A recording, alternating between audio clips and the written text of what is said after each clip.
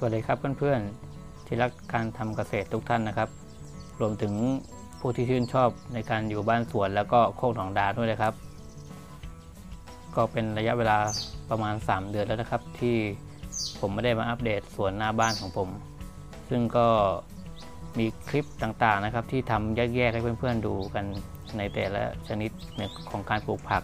แต่วันนี้ผมจะพามาดูโดยรวมนะครับ ว่าสวนหน้าบ้านเนี่ย เกษตรบรรยุทธ์นะครับจะมีอะไรกินบ้าง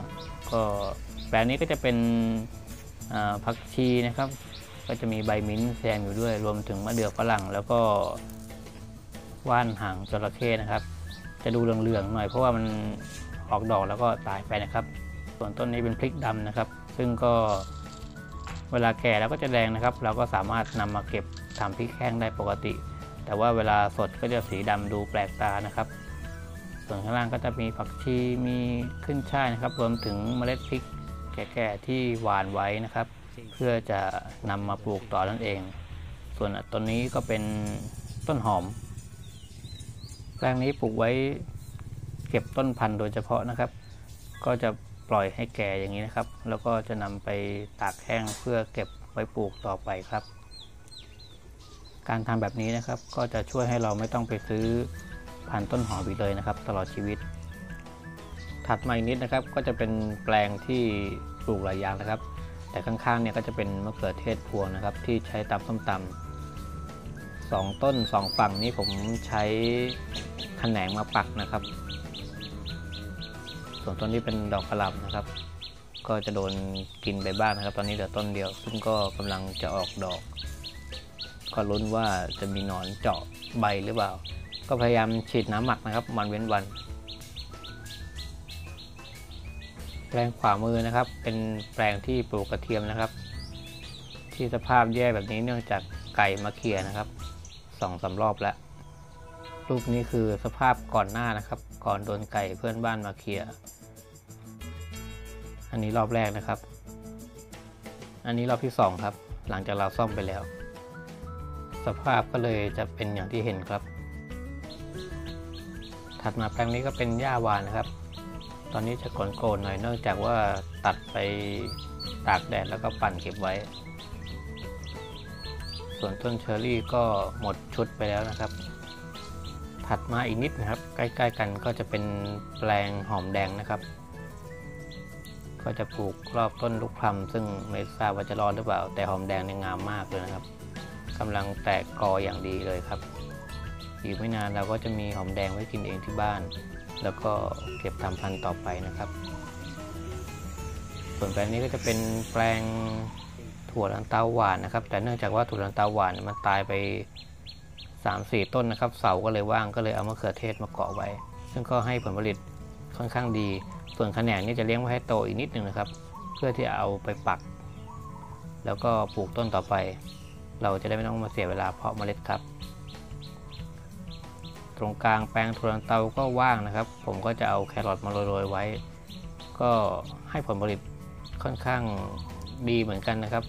แต่ว่าก็ยังไม่ได้ลองถอนดูนะครับ เนื่องจากว่าอายุยังไม่ได้ แต่คิดว่าน่าจะโอเค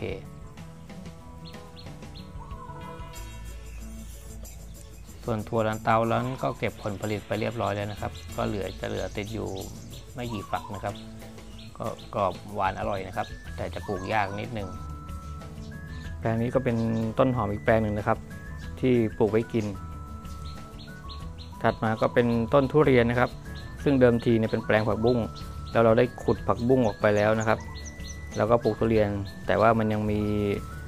ต้นตอของผักบุ้งอยู่ข้างใต้ดินนะครับ มันก็จะเกิดขึ้นมาให้กินอย่างนี้นะครับ อายุนี้ก็น่าจะเกือบครบปีแล้วนะครับ แต่ว่ามันก็ยังมีให้กินอยู่ตลอดเลยนะครับ เราไม่ต้องปลูกซ้ำเลย บางครั้งเราก็ไม่ได้เก็บกินนะครับ แล้วก็ปล่อยมันเดินแก่ พอมันแก่มันก็มีเมล็ดซึ่งร่วงลงไป มันก็จะขึ้นมาใหม่นะครับ ส่วนตรงนี้เป็นผักปังนะครับ แล้วก็มีถั่วพูขึ้นเองอยู่ด้วย ก็เดี๋ยวจะลื้อแล้วก็ทำใหม่ ส่วนแปลงนี้เป็นบอเตอร์เคสนะครับ งามมากเลย เมื่อวานก็มีเพื่อนมาซื้อไปทำต้มจืดขายนั่นเองครับ ส่วนต้นนี้เป็นบลูเบอรี่ ก็เป็น หน้าหนาวนะครับ ซึ่งก็จะออกผล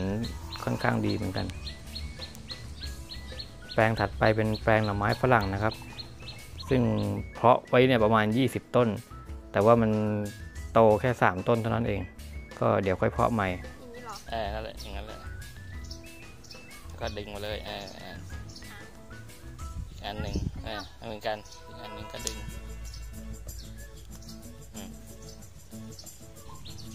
มีแค่สามต้นนะครับ แต่เขาเก็บกินได้เรื่อยๆพอเด็ดไปปุ๊บมันก็จะงอกขึ้นมาใหม่ ส่วน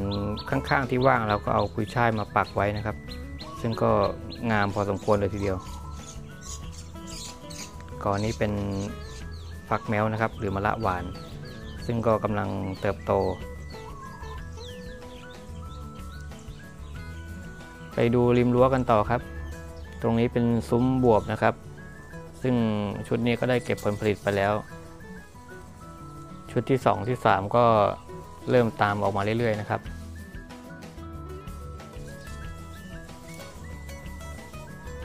ถัดไปก็จะมีมะละกอนะครับ แล้วก็เคปกูสเบอร์รี่ ตรงนี้ไม่มีเวลาดูจริงๆครับ ก็ไม่ได้ทำค้างทำอะไรให้มัน ค่อนข้างดกดีเลยทีเดียว เคปกูสเบอร์รี่ ต้นนี้เป็น ต้นที่เพาะเมล็ดนะครับ ก็หลังจากที่เราซื้อมาทานแล้ว เราก็เอาเมล็ดมาเพาะแล้วก็ลองปลูกดู อากาศเย็นลงสักนิดนะครับ มันก็จะออกผลผลิตให้เราเยอะมากเลย ตัดทิ้งไปก็หลายกิ่งครับ เพราะว่าเพลียเนี่ยชอบมากมากเลย บางกิ่งที่มันนอนไปกับพื้นนะครับ ลูกก็จะโดนเชื้อรานะครับก็โดนแมลงกินแบบนี้ ส่วนต้นที่อยู่ข้างบนก็จะสมบูรณ์หน่อยรั้วก็จะเป็นรั้วชะอมนะครับ ข้างล่างก็จะเป็นใบชะพูนะครับ ไม่ค่อยงามเท่าไหร่เนื่องจากว่าไม่ได้มีเวลาให้ปุ๋ยนะครับ แล้วก็รดน้ำนั่นเอง ก็จะเหี่ยวๆหน่อย แต่ถ้าเราใส่ปุ๋ยนะครับ เอาขี้วัวเอาอะไรใส่สักนิดหนึ่งเดี๋ยวมันก็จะงามเหมือนเดิมตัวนี้เป็นแบล็คเบอร์รี่ครับ ก็ ให้ผลผลิตค่อนข้างดีเลยทีเดียว สายสุขภาพก็ต้องชอบนะครับ เพราะรสชาติมันจะเปรี้ยวนะครับ อมหวานเล็กน้อย ก็สามารถนำไปแปรรูปทำอะไรได้หลายอย่างทำน้ำปั่นทำสมูทตี้นะครับ ก็อร่อยอร่อยดี หรือเพื่อนๆอาจจะไปจิ้มพริกเกลือก็ใช้ได้เหมือนกัน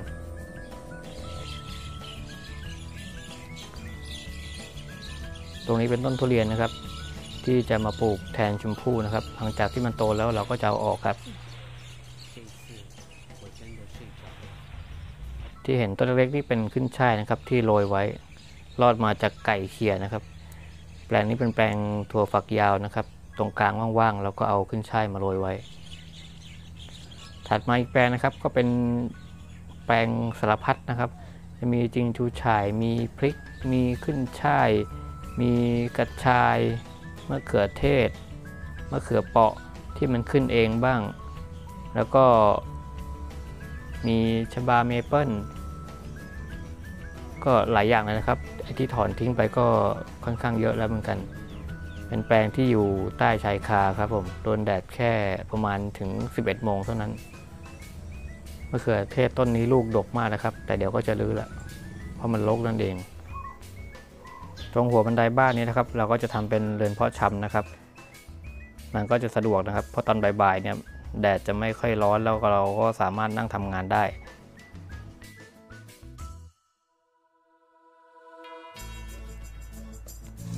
มาดูภาพรวมกันครับเพื่อนๆอาตอนนี้มันมีแปลงว่างนะครับ 3 แปลงที่เราเตรียมไว้ที่จะปลูกผัก ฝั่งนี้เป็นฝั่งขวามือนะครับ ส่วนฝั่งซ้ายมือเนี่ย ผมก็กำลังจะทำใหม่ ซึ่งฝั่งซ้ายมือในเดิมทีเป็นกองปุ๋ยนะครับกองปุ๋ยใบไม้ที่ทำตอนนี้มีพื้นที่แล้วมีแดดแล้วนะครับ เราก็จะนำยางรถยนต์เก่าๆนะครับ ที่เก็บไว้ในถุนบ้านมาทำตอนนี้เพิ่งเริ่มทำนะครับ เดี๋ยวถ้าเสร็จแล้วเนี่ยจะมาอัปเดตให้เพื่อนๆได้ชมกันว่าเสร็จแล้วเนี่ยเป็นอย่างไรบ้าง ถัดจากตรงนั้นมาอีกนิดนะครับ ก็จะมีแปลงกุยช่าย มีมะม่วงไข่พระอาทิตย์ มีต้นหอมนะครับที่ปลูกไว้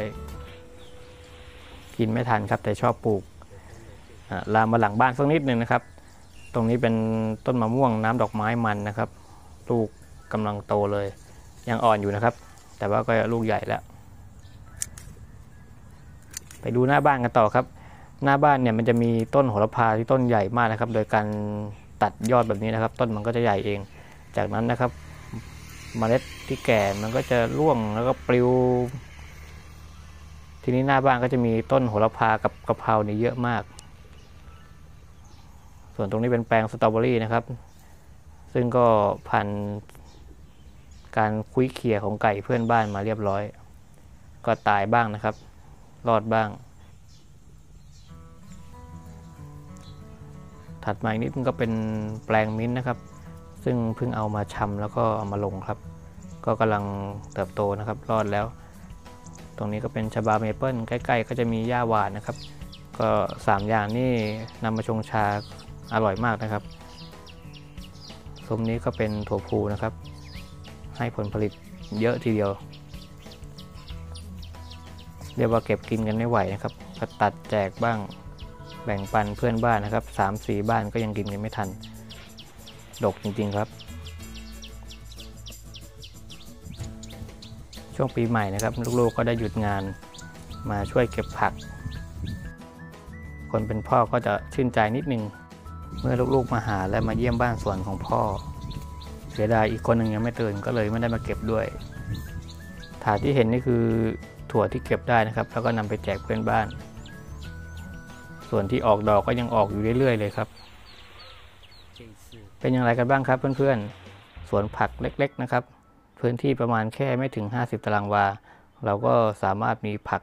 กินได้หลากหลาย ที่สำคัญนะครับ ปลอดภัยแล้วก็ยังสามารถใช้เวลาว่างให้เป็นประโยชน์ พื้นที่เล็กๆ นี้นะครับ ยังมีอะไรให้ทำอีกเยอะเลย ถ้าเพื่อนๆชอบก็